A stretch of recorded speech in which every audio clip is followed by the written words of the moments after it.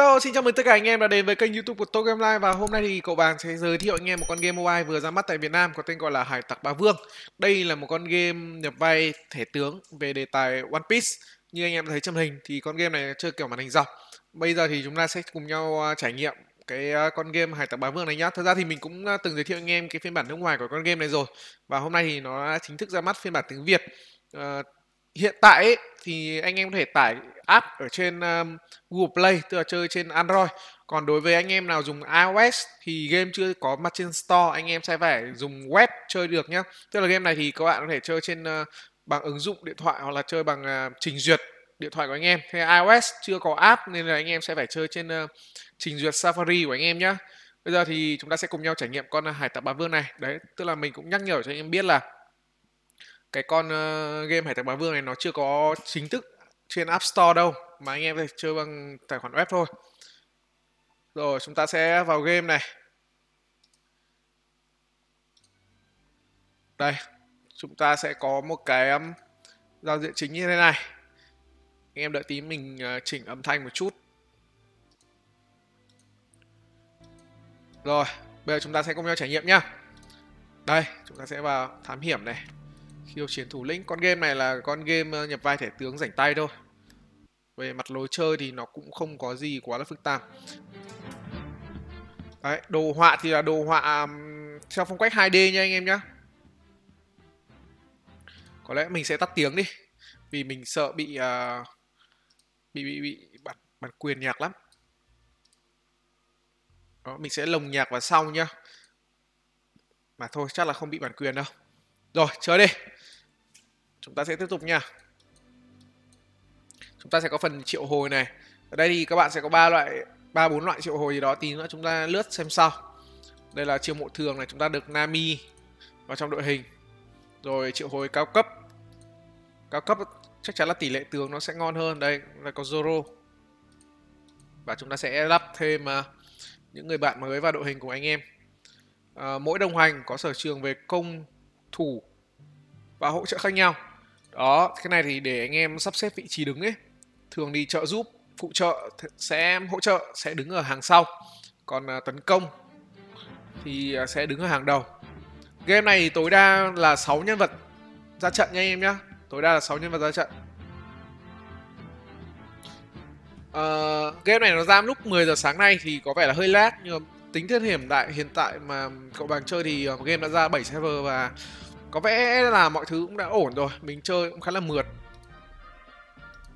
Game này nó không kèm cấu hình anh em nhá vì nó khá là nhẹ thôi. Game màn hình dọc này lại còn 2D nữa. Rồi chúng ta có phần uh, nâng cấp tướng này. Đấy, ở đây các bạn sẽ có phần nâng cấp tướng. Đấy, nâng cấp level cho các bạn. Nhưng mà các bạn lên sau thì có thể ờ, lắp trang bị cái thứ này nọ nữa. Đấy, tiếp tục chiến đấu. Đấy, cứ chơi theo hướng dẫn của game. Thật ra game này dễ chơi mà. Đấy, được cái là các cái nhân vật vẽ đúng nguyên tắc One Piece luôn. Game mobile về One Piece thì nhiều rồi. 2D có 3D có. Ừ, nhập vai um, có. Mà thẻ tướng có rồi um, game thẻ bài truyền thống có luôn. Rất là nhiều thể loại. Đấy tức là um, với fan One Piece thì uh, các bạn sẽ có rất là nhiều sự lựa chọn đấy One Piece mình thấy là một trong những cái bộ manga được chuyển thể thành game rất là nhiều luôn á. Rồi chúng ta sẽ đây chúng ta có Usopp. Đấy, đội hình bây giờ mình đã có bốn ờ, nhân vật này này. Đấy, nó đánh ờ, nó đánh theo kiểu turn base nhá tức là đánh theo lượt đấy chứ không phải loạn đấu. Ồ sao thằng Usopp đánh không mất máu gì luôn á à, Nami của mình có khả năng bút máu này.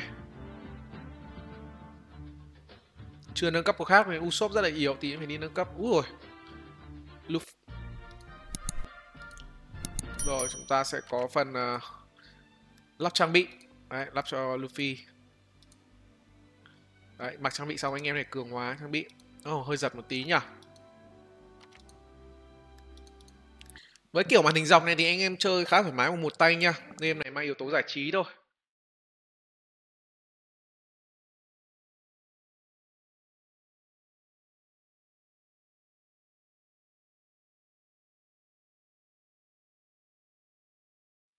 Vỡ mồm luôn.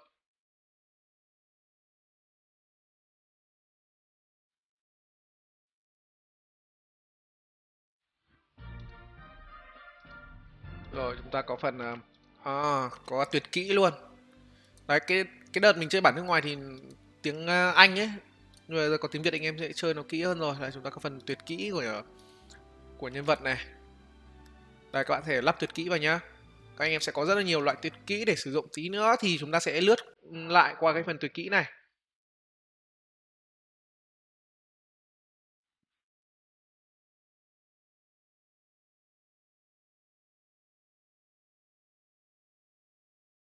Đấy, đấm vỡ mồm luôn. Đây đầy cái thanh năng lượng thì có thể sử dụng tuyệt kỹ. Đây là tuyệt kỹ phối hợp giữa Luffy và Zoro này. Đây là phần à, thưởng nhiệm vụ. Đó nhận thưởng. Đó, level 8 rồi sau này sẽ mở khóa thêm các tính năng mới. Đây, đây là đăng nhập nhận quà này. Đây là giao diện chính của game nhá. Các bạn sẽ có một cái giao diện chính này. Sau này sẽ có thêm rất nhiều tính năng mới rồi có các cái sự kiện um, server này. Tức là mừng server ra mắt thì các bạn sẽ có rất là nhiều sự kiện khác nhau. Rồi sự kiện quà nạp này sự kiện hạn giờ này uh, quà đua top đấy dành cho anh em nào đam mê đua top. Này quà đăng nhập mình vừa nhận rồi. Rồi các cái gói quà ưu đãi. Đấy um, chúng ta đến phần triệu hồi đi. Triệu hồi thì các bạn sẽ có bốn loại đó là triệu hồi thường này triệu hồi uh, cao cấp. Triệu kêu gọi bạn bè tối đa tướng SR thôi và cây tri thức. Cái, cái này như kiểu là anh em sẽ được chọn đúng cái tướng mà mình mong muốn ấy kiểu kiểu như vậy. Thì uh, ngó qua phần tỷ lệ nhá. Đây cao nhất là SR này. Đây danh sách này. Mình muốn xem phần tỷ lệ nó ở đâu nhỉ? Để mò đã thường là nó sẽ có phần tỷ lệ để mình à, xem xem là cái tỷ lệ quay tướng của mình nó như thế nào ấy. À, đâu nhỉ? Hay là không có nhỉ? Thường các game quay tướng bây giờ nó sẽ hiện để cho người chơi biết đấy ở đây không có rồi. À đổi tên phát cọ vàng. Đó các bạn phải đổi tên nhé tức là lúc vào game thì nó vào luôn nó không cho anh em đặt tên trước. Ở đây thì mình không thấy cái phần gọi là tỷ lệ quay tướng xem quà thưởng à đây đây có có có có có đây tỷ lệ à, uh, SR là một phần trăm SR là 9%, R là 33% và tướng N là 57%. Còn với à, triệu hồi thường thì à, tướng SR chỉ có 0,5% thôi. R 10%, N là 84,5% và mảnh SR là 5%. Đó, còn với kêu gọi bạn bè thì chúng ta có tướng SR cũng là 1% được, R 25%. N 52% và SR 2%. Đây là mảnh nhá, mảnh tướng thôi. Đấy, tức là nếu mà ngon nhất thì các anh em nên triệu hồi cao cấp này này. Tướng SR là 1%. Đó, danh sách tướng này rất là nhiều luôn. Số lượng nhân vật rất là nhiều để anh em ờ, có thể chiêu mộ. Còn đây là phần phó bản nha các bạn. Thấy là nó vẫn đánh cho máy này, các bạn có thể nhận thưởng cho máy này. Đấy, trong một giờ nhận được bao nhiêu vàng, bao nhiêu XP, bao nhiêu những cái nguyên liệu để các bạn nâng cấp tướng. Còn đây là các cái phần quà vật ải. Rồi anh em thể tích kim cương để quay tướng nhá. Đây danh sách tướng này. Đây có phần sổ tay này. À, tổng cộng ở con game này là 97 nhân vật nhá. 97 nhân vật. Nhiều nhà sao ở đây hiển thị làm gì đến 97 nhá. nó ghi là 4 trên 97 này. Ồ nếu mà thật thì rất là rất là nhiều luôn ấy thì rất là nhiều luôn. Khá là ok đây tướng này thì anh em có thể như anh em đã biết là có thể nâng level này cường hóa trang bị này.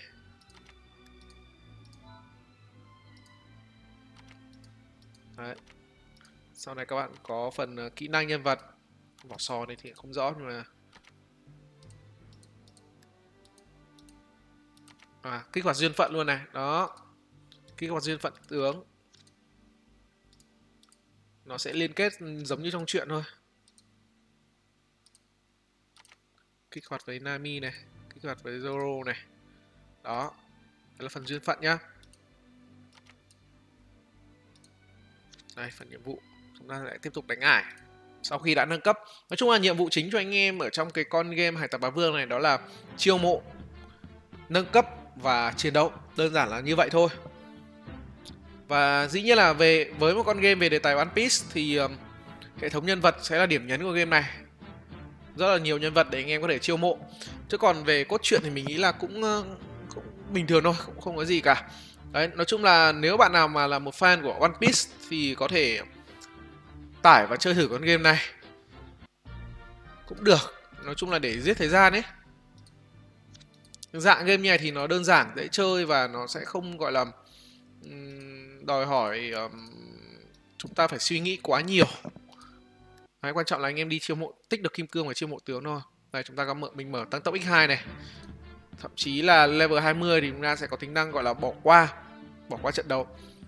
Nói chung là game này nó sẽ không tập trung nhiều ở phần chiến đấu đâu. Tăng tốc này rồi bỏ qua quan trọng là tướng anh em phải mạnh ấy phải nâng cấp tướng lên thì mới qua được. Còn kiểu mà không nâng cấp thì không không không, không ăn thua. Đây chúng ta có tính năng uh, kết bạn này. Kết bạn để sau này tặng thể lực ấy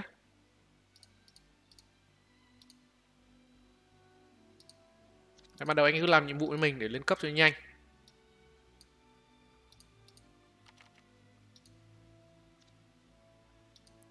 Nó không có cái phần gọi là nhận nhanh để lên cấp nhanh à này cày thì hơi lâu. Đây thưởng quá online này. Thưởng vượt phó bản đấy xong anh em này tích kim cương để quay.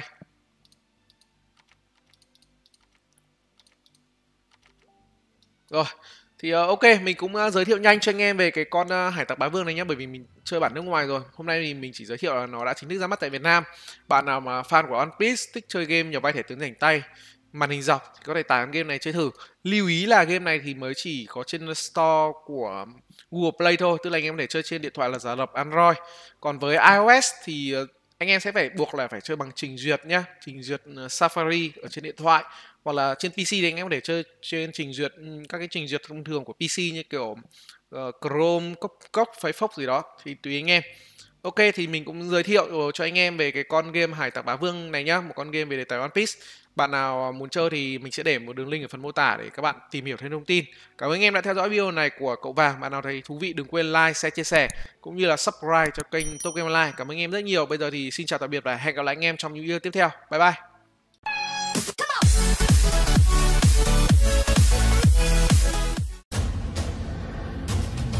We'll be right back.